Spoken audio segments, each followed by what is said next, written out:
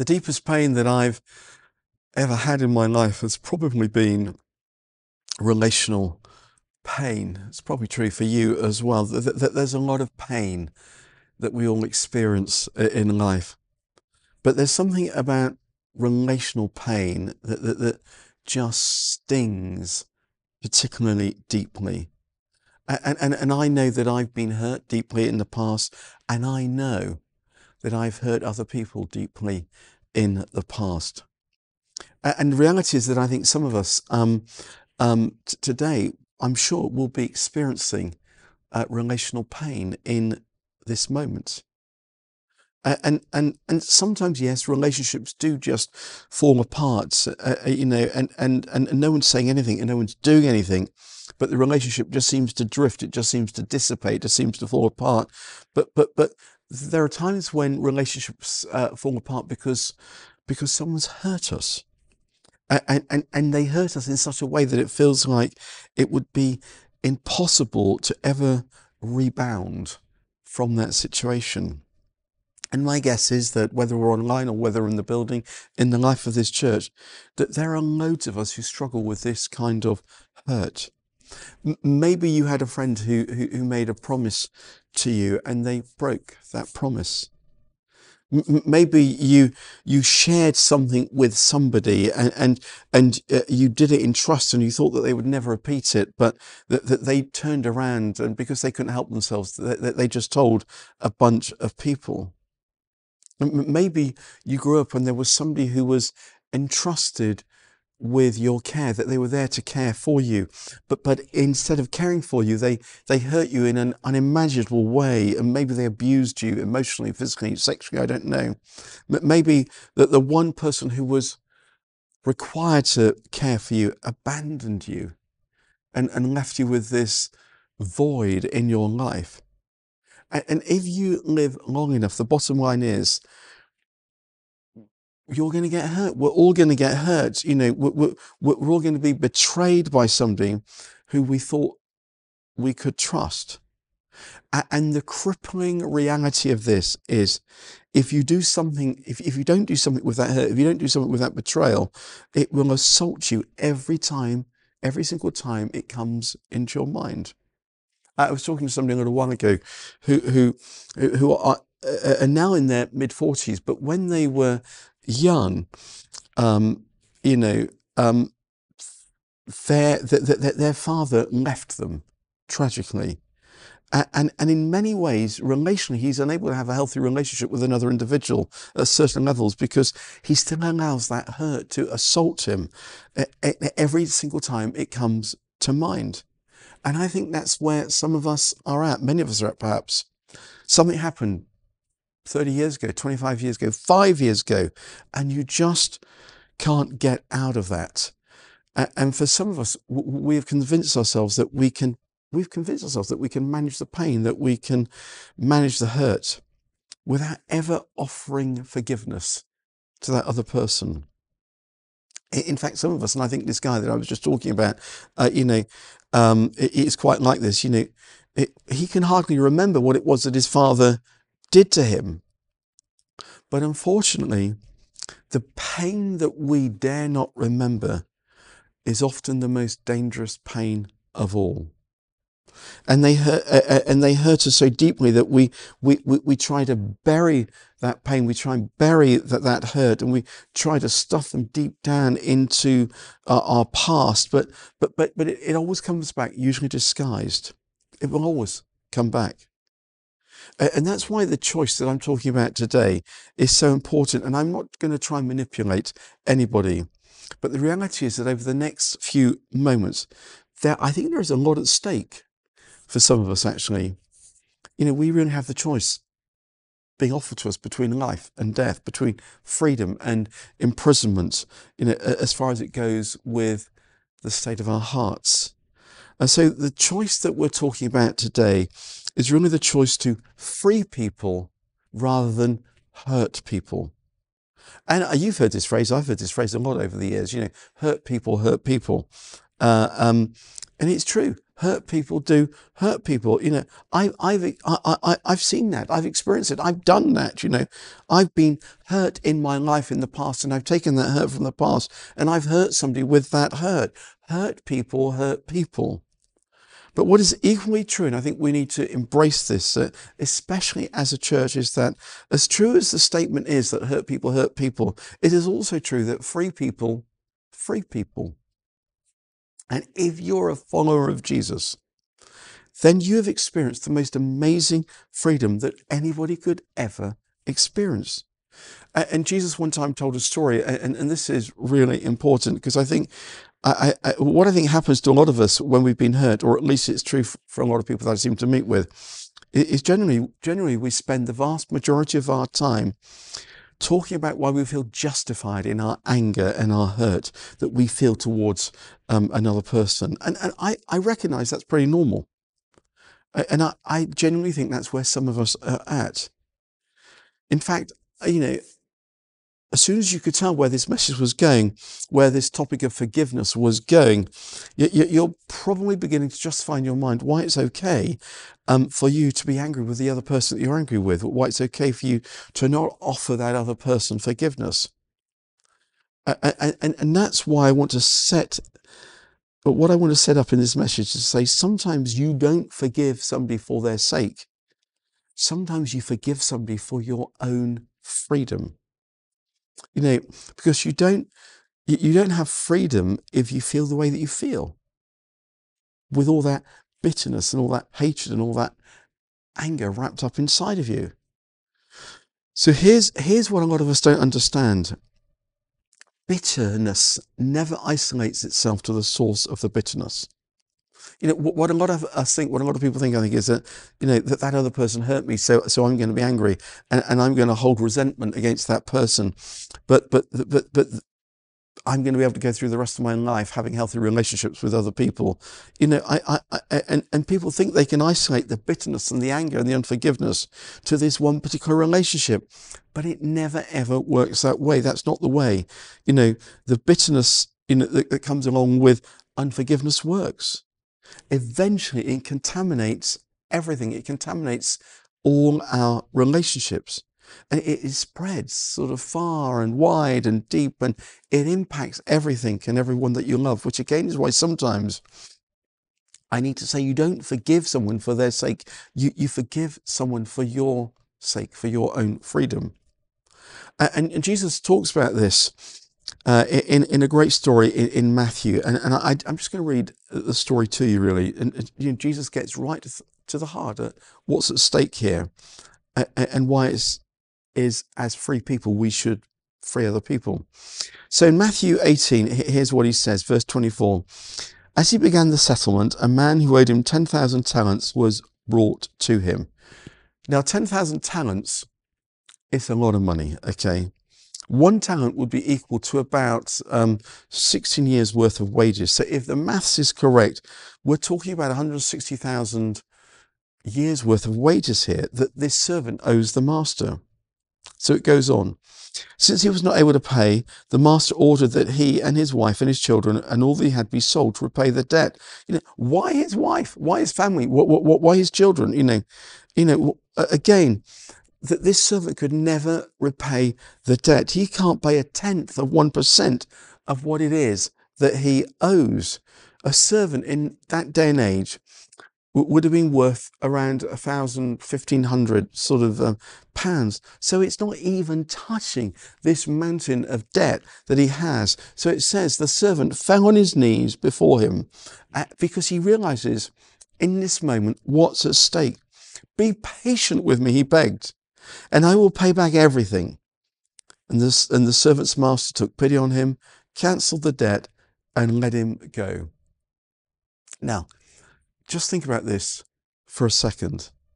Think about the utter humiliation, the utter embarrassment that this servant must be feeling. You know, he's going to be thrown into prison. He's going to be a slave for the rest of his life. And not just him. You know, the, the embarrassment comes because the debt that he's racked up is now going to impact his wife and family, his children. It's going to impact generations of children. It's going to impact his children's children, you know, generation after generation.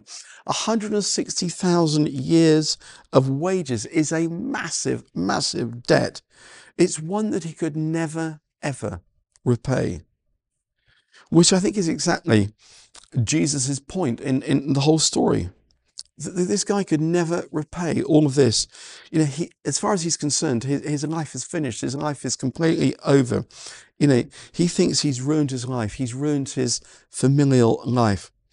And then for reasons that we don't know or understand in the story, the master comes to him and says, you're forgiven. I'm going to set you free. I'm not going to hold this debt against you. And, and, and, and this is really important. We, we cannot get past this. To really understand forgiveness, we've got to understand this part of the story. When the owner forgives the debt, the debt doesn't just disappear, does it? Somebody's got to absorb it.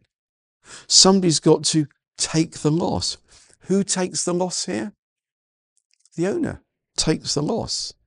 The, the, the, the owner in this moment absorbs 160,000 years worth of wages. It is a massive, massive debt that he forgives. Now, now, the master in the story obviously represents God, and the servant in the story represents me, represents you, it represents us. And what Jesus is saying here is that, that, that, that, all of us have run up this huge moral debt in the eyes of a holy God, every one of us, every single one of us. And one of the primary things we've been doing our entire lives is we have just been adding to this moral debt. Every time we are less than loving, every time we have a lustful thought, every time we are judgmental, every time we don't do what it is that we're meant to do, every time we gossiped, we were just adding to this mountain of moral debt before God. And what Jesus is saying is, is that God looked at you and God looked at, at me and, and he saw this massive debt and he is moved with compassion. And so he sends his son Jesus to die on a cross. And on the cross, Jesus paid our debt. On the cross, we were set free. We were forgiven this debt, this moral debt that we owed, that we could never pay back. It was paid for us on the cross. And on the cross, we were set free.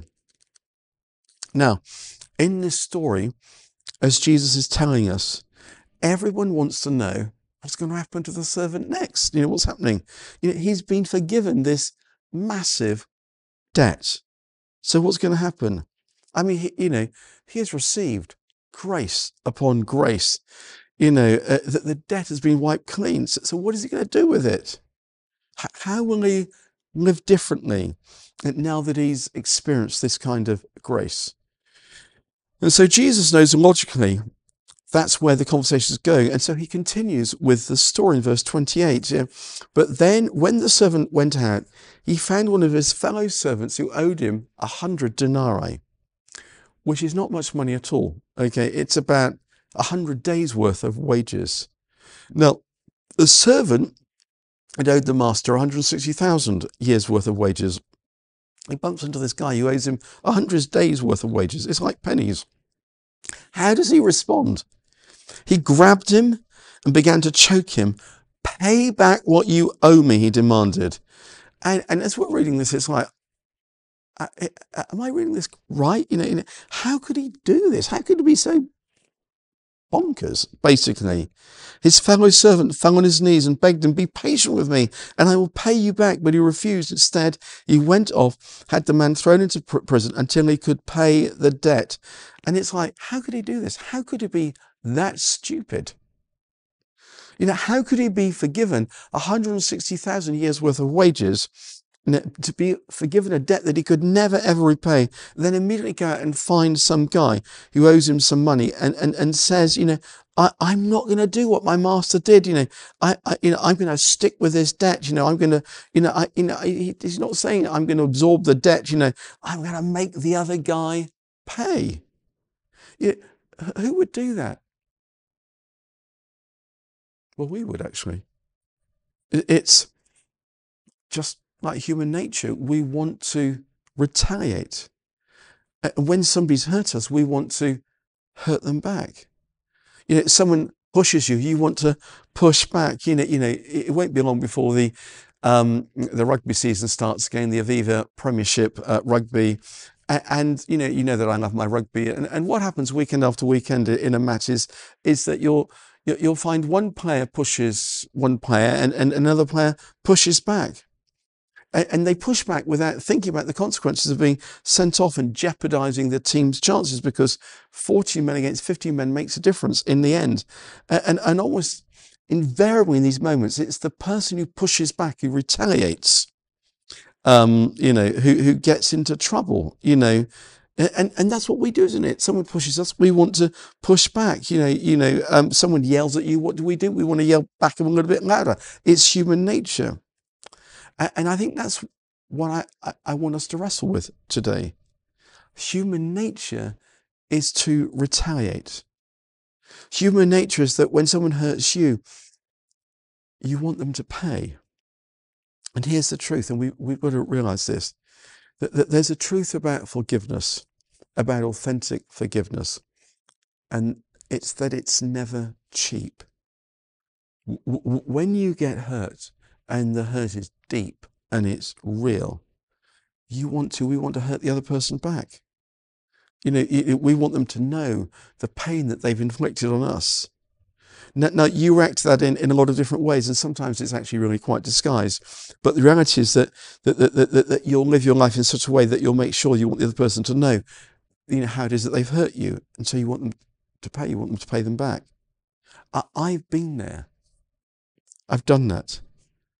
I've sat around before just thinking about, dreaming about, you know, how, how, how the other person was going to hurt for what it was that they did to me. It's sort of kind of human nature. And, and, and, that's what happens when someone sort of runs up a, a moral debt with you. You, you. you know it, you down to the last penny, as it were. You, you, you know exactly what it is that they did to you and, and when they did it. And you sort of find yourself thinking, I know that I could forgive them. But if I were to forgive them, I know what that would mean. It would mean that I'd have to swallow the debt. You know, I, you know, if, if I forgive them, it means I have to give up my right to see them hurt back. You know, it means that I have to pay the cost. I have to carry the cost. And the cost is what? It's not seeing them hurt. It, the cost is not getting even. The cost is letting go.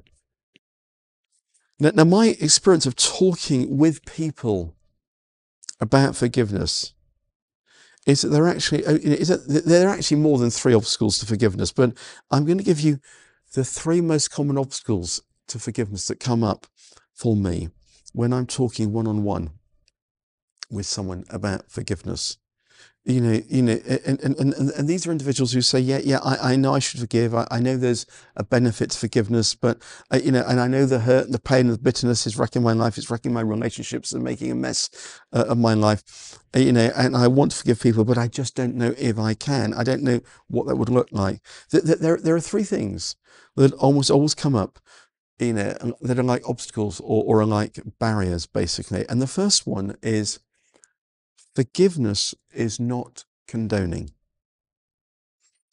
Listen, to forgive someone does not mean that you condone what it is that they did. We, have got to understand this. It's very important because some of us have been hurt in very real ways and in very unjust kinds of ways. And forgiveness is not just about getting to that place where you just condone that and excuse what it is that they did to you. Injustice needs to be fought at every turn, you know. And sin is not excuse. Uh, uh, sorry, so this is not excusing what they did. In other words, what you're doing when you forgive someone is you're you're not excusing it, you're not condoning it, but you're getting to a place where you say, you, you know, what you did was wrong. You know, we both know that what you did is inexcusable.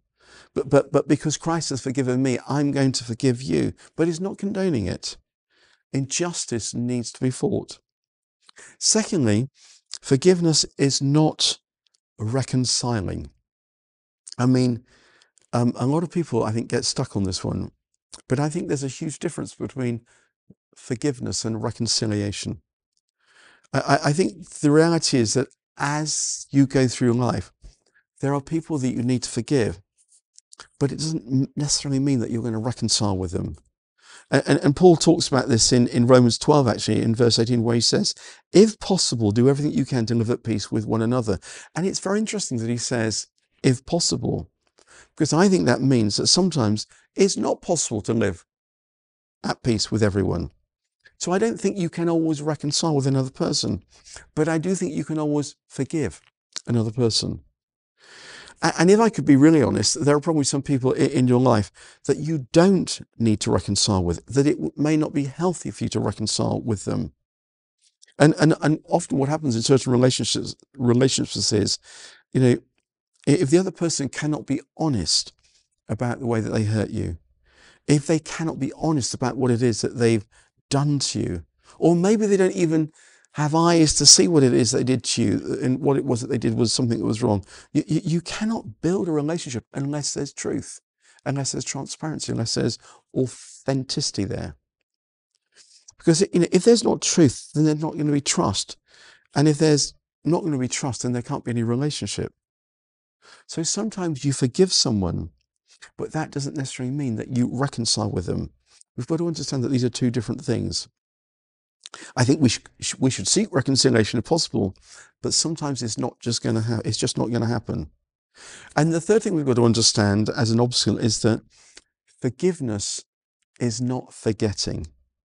And I know that people can get, can get hung up on this actually. That they think I, I'm going to forgive someone, which means I've got to forget what it is that happened to me. So it's like, I, I, because I can't forget, then I can't forgive. And, and, and that's not true, that there is a big difference.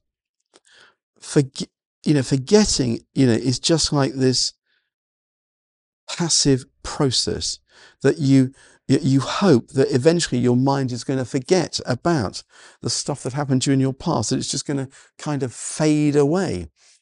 But forgiving is not a passive process. Forgiving is an active process where you make a deliberate decision that you're going to forgive someone, that you're not going to hurt them back in a way, in the way that they hurt you. And so we have to forgive precisely because we can't forget. But you've got to understand, we've got to understand there's a big difference between those two. You know, there's a little phrase um, that, that, that I like where I say, Time doesn't heal all wounds, but God does. And for some of us, I think that we, we, we think, uh, you know, I'm not going to make a deliberate decision to forgive. I, I, I will just over time forget because you think that time is going to heal those wounds in your life. But, but more than likely, it, it won't because time doesn't heal wounds. It just puts distance between what happened and, and where you're at now. Time doesn't heal wounds, but God does. And God will begin to heal those wounds as a result of the deliberate decision you make that you're going to forgive somebody who has hurt you. And again, to be honest, it's not an easy thing. I, I don't think it's easy for anybody. and there are sort of people in my life who I thought that I'd forgiven, and stuff reappears in my life. It comes back up again, and I have to forgive them again and again, and at times again. And so I've learned that forgiveness is not so much a, a decision as it is a process. And it's really about, in the end, the state of my heart. Forgiving someone is me giving up the right to hurt you for hurting me. And instead of hurting you for hurting me. And I make the deliberate choice that I'm going to free you, even though you did hurt me. And my guess is that there are probably some of us who've been carrying around this burden for a long time. And I think my encouragement to you today would be to just put it down. Because if you don't put it down, if you don't deal with it, it is going to wreck you, it is going to ruin you. I mean, you know, I want to be honest, it costs a lot to forgive. In fact, the only thing that I think costs you more than forgiving is not forgiving. Because not forgiving is going to eventually is going to cost you your heart. If you don't forgive, then you're going to be to your bitterness. You're going to be change your resentment. You're going to be change your anger. If you don't forgive, then what joy you have in your life is slowly going to be choked out of you. It's going to dissipate. If you don't forgive, then the bitterness inside of you is eventually going to crowd out any kindness and compassion that you have left inside of you. And I believe, and I think this is the key, because some of you have tried this in your own life. You've tried to forgive in your own power. And maybe, maybe I'm not that good a person, but, but I do not think as human beings that we have the power to sometimes forgive people in the way that they need to be forgiven. I, I don't know that that's in us, which is why I think uh, this verse in Ephesians 4 is so important, where Paul says, Be kind to each other, tender hearted, forgiving one another. And how does he say, say this happens? He goes on, just as God through Christ has forgiven you. And essentially, what he's saying here is, uh, this is not something you have, have the power to do on your own. You, you, you, you, you, you don't have the power to offer this. And the only way you can offer this is because you first received it. This isn't about you having this unbelievable grace inside of you, that you, grace inside of you that you're going to be able to offer other people. It's about the fact that you've received this grace from Jesus uh, uh, uh, that he has erased this massive debt that you've had. And therefore you have something to offer. offer. And the question, just like in this par- parable that Jesus told us, how do we respond to that? In, in essence, you've had, we've had 160,000 years worth of wages, this moral debt, completely erased. And the question is, what do you want to do with the second half of your life? What does that look like in the light of that? You know, how many of us, when we go on a journey on, a plane, you know, engage with the safety procedures we have to go through. I, used to fly quite a lot, um, if I'm honest, and and um, I used to engage with, with these procedures, and they always used to talk about the oxygen masks coming down. You know how they drop down, and you know, and I've never actually seen that happen. I've seen it on movies, you know, I never want to be on a plane when it actually happens. Um, but I did used to fly a lot, as I've said, and, and, because of that, I used to pay attention to the safety instructions. Uh, and, and, and I always used to wonder when we were going through this, what it might be like to put it into practice. Um, and, and, you know, you know, what they'll tell you at some point in this process is that if the cabin pressure were to drop, that this little bag would drop down, this oxygen mask would drop down, and, and you have to put it on and you have to breathe normally. And my guess is, as I think about that, as you think about that, is I would not be breathing normally. You know, I, would be breathing in deeply, imagining that it was probably going to be my last breath or last few breaths. Um, but and so I used to try making sure. I used to practice breathing normally in case it did happen, and what sort of rhythm I'd get into. But, but the most in, interesting thing about the safety instructions regarding the oxygen masks was they would say if you're traveling with a child or somebody who's acting like a child, uh, you need to secure your own oxygen mask first before you can help other people. Now, if you're traveling with more than two children, you've probably got to work out um, which child is your favorite um, and the order in which you're going to put the masks on. But I, I remember think, I to think, sure, it must be the most selfish thing in the world as a parent or as a friend um, to put your mask on first. It just sort of goes against every instinct that you naturally have, you know, that you would secure your own oxygen, oxygen mask first, you know, and then you'd go about helping people around you. It just seemed sort of back to front to me.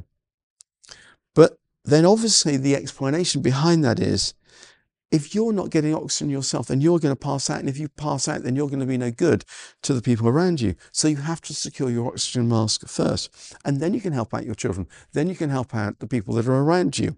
Then, because then you've got oxygen, then you can breathe.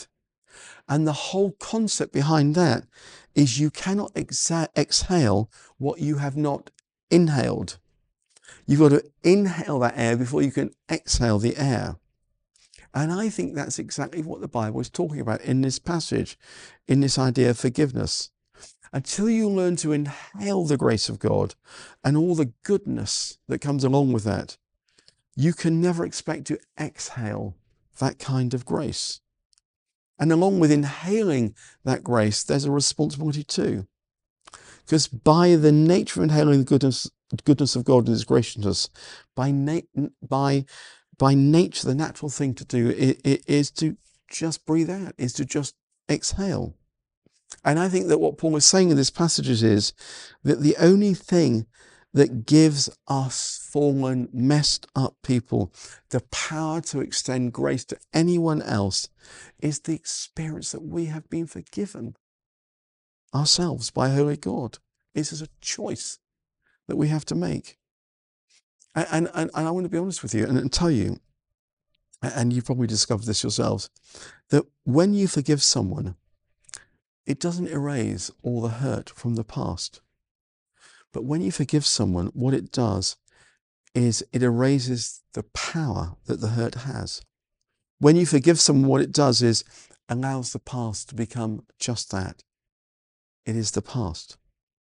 And the reason I think perhaps for some of us this is a really holy moment um, is that we have the ability to say, this is not how my story is going to end.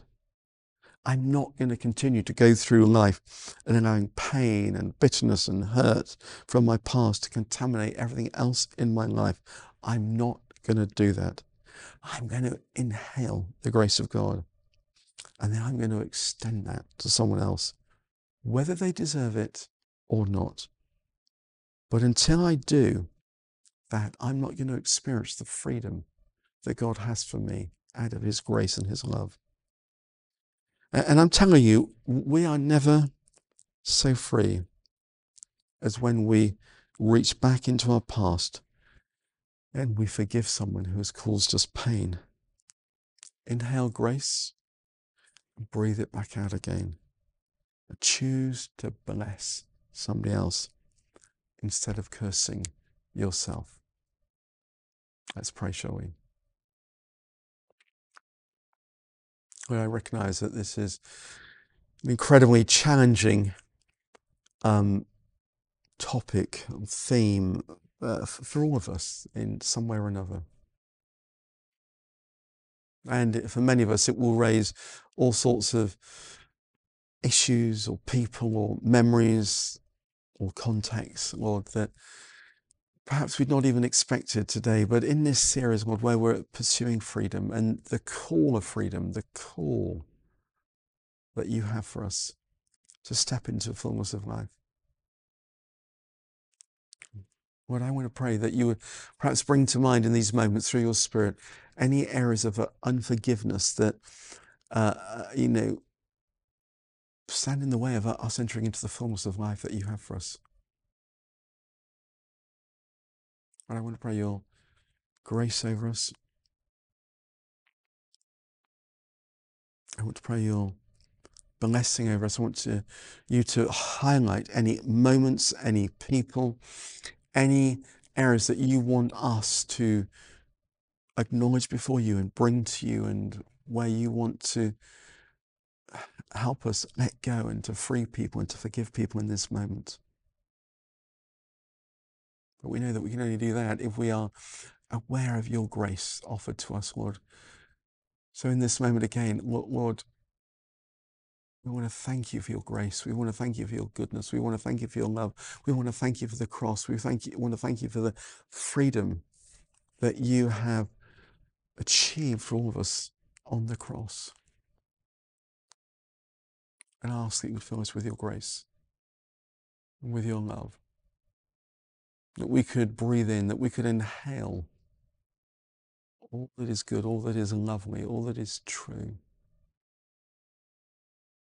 And even as we receive and as we're reminded of what it is that we've received from you, the forgiveness and the freedom and the love and the life that you have for us, Lord, that you would give us the grace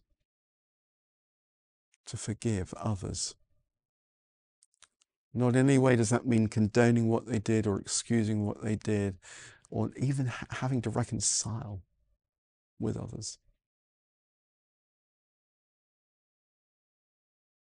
But Lord, that you would help us to free those people, to forgive those people, forgive those moments from our past, so we could step into the fullness of life as you have it for us in this moment. Come, Lord Jesus.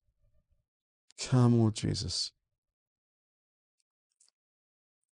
Even if we can't forget, Lord, we know that we can forgive. We know that you are the one that heals, not time, but you. We ask you to come and bring your healing to us, your restoration to us, your peace to us, and your grace to us. And that we, in so many ways, as we've been wounded, as we're touched by you, would become wounded healers ourselves as we reflect you and as we carry you. And as we go out into this uh, week that lies ahead of us, Lord, I would pray that you would bless us, that you would watch over us, that you would make your face to shine upon us, that you would give us your peace, that you would give us your grace and your blessing.